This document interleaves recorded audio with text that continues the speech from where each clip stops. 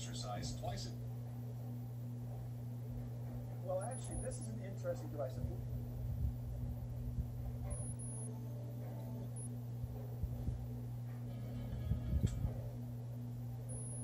This. This has a stainless steel burner right here, up fire. So now, this heat exchanger, this burner comes on,